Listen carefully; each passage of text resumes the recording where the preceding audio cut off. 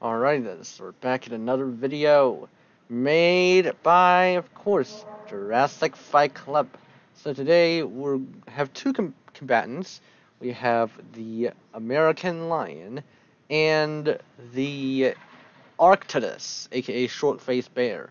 Anyways, let's start with the American Lion first. Panthera atrox, the North American lion at the Pleistocene era weighed around 775 pounds, which is good if you're talking about the largest specimen of the American lion. An average male had a mass of around 256 kilograms, aka 564 pounds. Stood 4 feet tall and measured 8.2 feet long, which is also an upper estimate. It was about 25% larger than a modern African lion. If you're talking about in length, yes, but uh, scientifically, uh, mass mass determines the size of an animal, and the American lion is definitely more than 25% and bigger than the modern lion. Of course, that's the upper estimate of the American lion.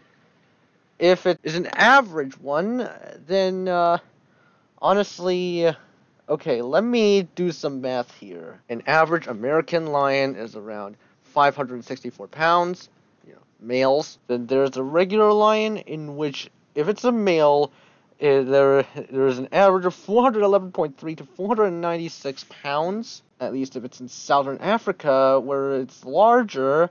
In East Africa, it's 386 pounds. In India, it's 350 to 420 pounds which means that uh, 25% larger, around 25% larger, seems to be a general statement.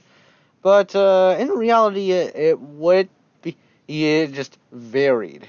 It was probably plain colored, not, spar, not spotted, and that large manes common to modern male lions.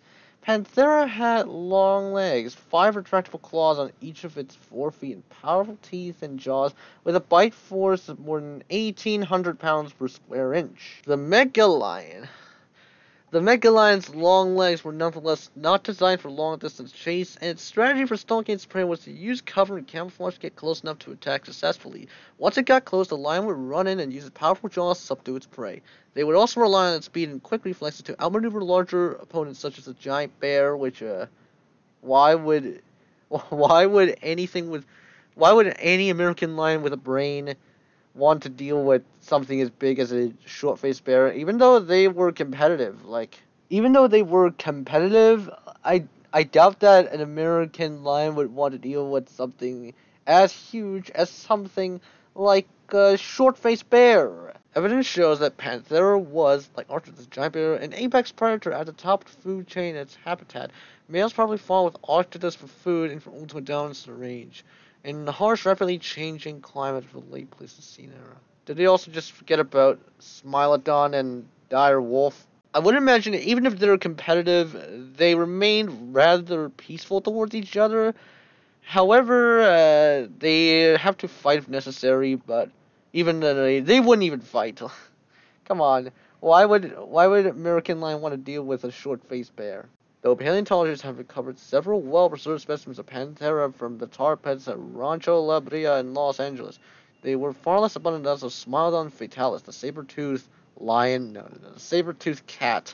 This relative shortage suggests that Panthera was probably more intelligent and evolved and able to avoid the tar traps to the lives of so many Ice Age animals. The top speed of Megalion.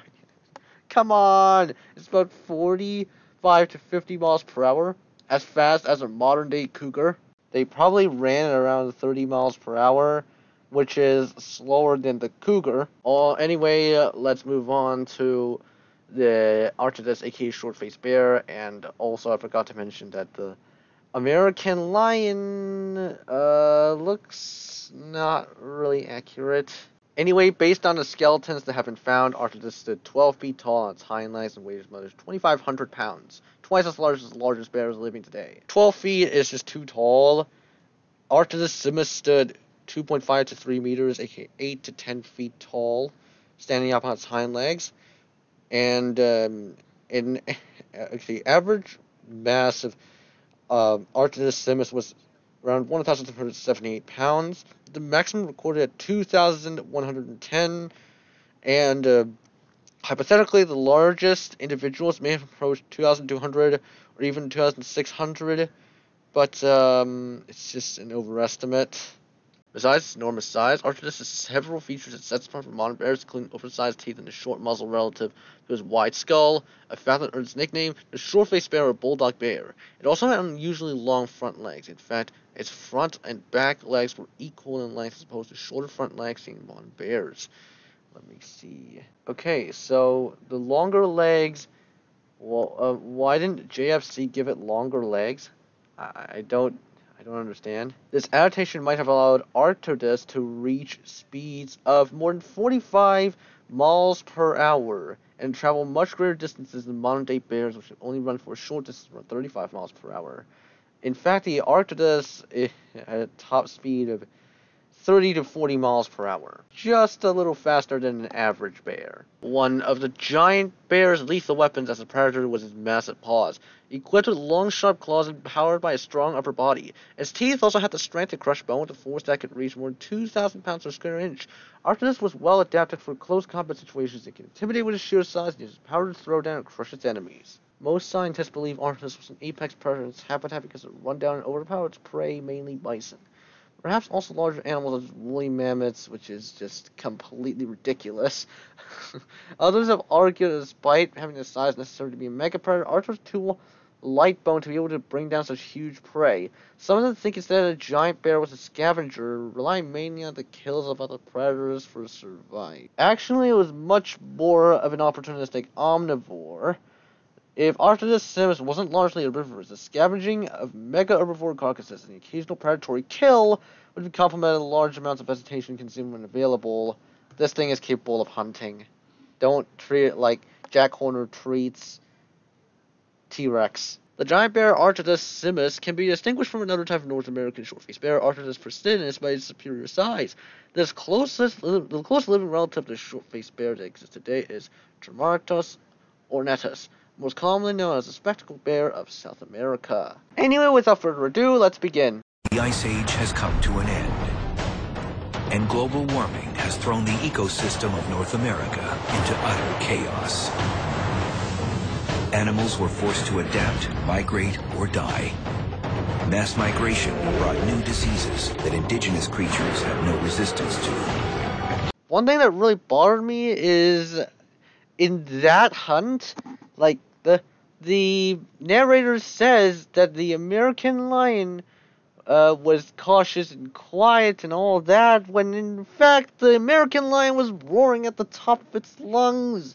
This is going to alert the bison. Like it must have really, it must have been really lucky and caught a bison which was deaf or something. In order for it to actually be able to successfully hunt that bison while roaring at the top of its lungs. Actually, the bison could still see.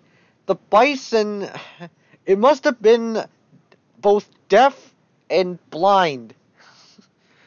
Sorry.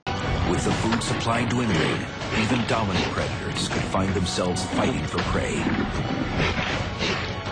Bison were one of the few herbivores that actually thrive. With this amount of force pressed into the American lion, you think that the American lion's neck would wrist broken by now, but not not really. In the warmer temperatures, the grasslands expanded in the heat, offering them a larger food supply. The bear's attention is clearly on the bison. Its mind is no longer focused on the fight. Although the lion is down, he's certainly not out. The mega lion is most comfortable hunting at night, like all cats, his large eyes gave him superior night vision. How did the bear not even notice that? How did the bear not even see that coming, man? It, it when it, you know, the the short-faced bear must have been deaf or something. Like the short-faced bear must have been deaf in order for it to not just see the uh, lion coming for it. That does not help him now. How did he even toss something as big as like 2,100 pounds into the ground and just effortlessly, man?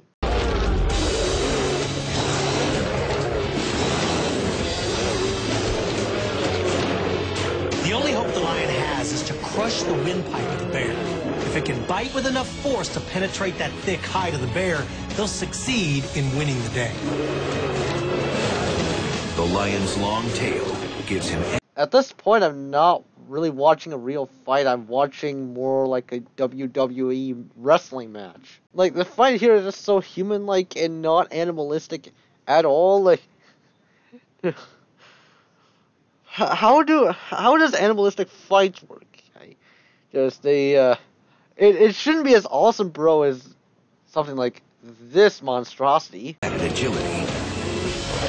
Before the lion can reach the bear's throat, the bear is able to hold off the attacker with its arms. The lion tries in vain to grab the throat, but the bear is just too powerful. The Ice Age favored power over speed. Larger animals were better insulated. With the bear showing its capabilities, the American lion should just run away at this point. Like, it shouldn't have to risk its life anymore. Just find another, just find another prey to catch. Come on, it's not that hard. Come on, just give the bear its win, and take the L, and just find another prey for you to kill.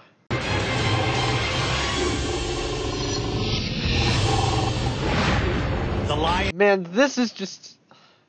This is the funniest sequence that I've ever seen in my life, and also just absolutely ridiculous.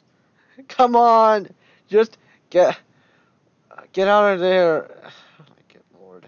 What am I watching? What am I even watching right now? Why am I watching this monstrosity when I could just. When I could just watch Quite getting exposed all day? is in excruciating pain from the force of the bear's throw.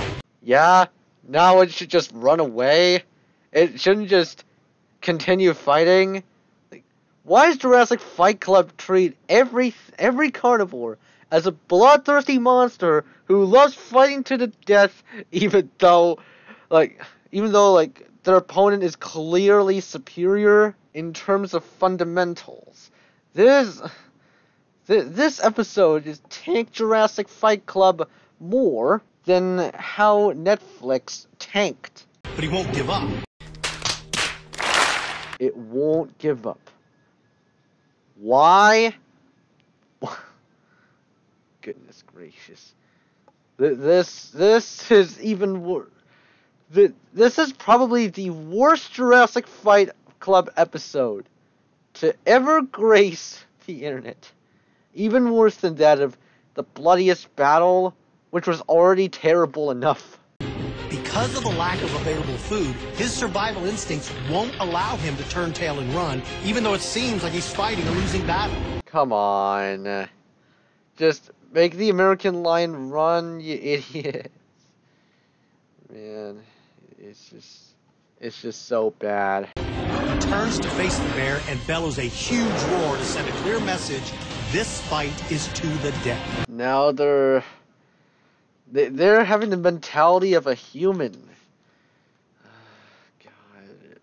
Why why don't they just end the fight now? Why are they just politely waiting for each other to Come on. The bear's roar would seem as loud as an oncoming train. Um, did that snap the bear's neck? Uh, I have no idea. The lion scores a direct hit to the face of the bear. Temporarily blinded and disoriented, the bear loses its footing and crashes to the ground. This gives the lion the opening that it's been waiting for. The lion's senses are keen. The lion could have just lunged at the bear straight away and the fight would be over.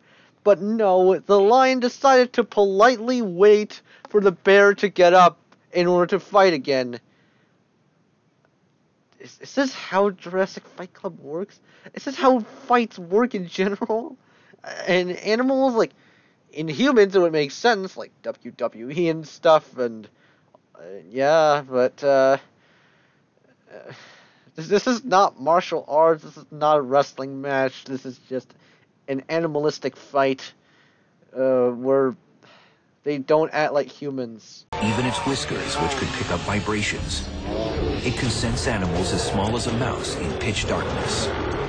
The lion is desperate, and the only way it can win is to get to the throat. Lion could have also tried to go for the throat before the bear got up. With the last remaining strength, he lunges towards the bear. The force of the impact knocks the bear backwards, and the lion grabs the throat. Lion needed almost 40 pounds of meat a day to survive. On average, adult lions eat around 11 to 20 pounds of meat per day. American lion uh, wouldn't need 40 pounds per day. Um, American lion would need around like 30 at max. Without it, the mega lion would quickly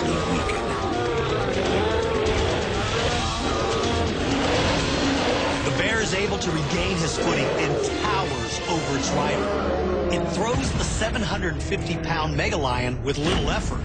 Unfortunately for the lion, the bear happens to throw it in the direction of the cave. The cave is over 85 feet deep. A deadly drop. So they speculated that uh, fight was a fight occurred and it's, the American lion was thrown. In reality, uh, that would be absolutely crazy. A real, a, re- a more realistic scenario would be that they just fell into the cave. Nothing happens. They just fell into the cave and then died. Nothing happened. It's a sheer drop to the bottom that nothing can survive. The herbivore bones that were found in the cave show no signs of predation, so this tells us that nothing that went into that cave lived to eat the bodies of the other victims. Yeah, that's it. Wasn't able to show the full one, but uh, yeah, from this glimpse of it, it's just absolutely terrible. Yeah, yeah. Um, I don't know what's worse, this or Tarbosaurus the mightiest ever entirety of it. Uh, I I guess Tarbosaurus, the Centaurosaurus being killed by a pack of velociraptors is the absolute worst scene, but uh, this comes quite close. Anyway, thank you guys for watching. Hope you enjoyed it.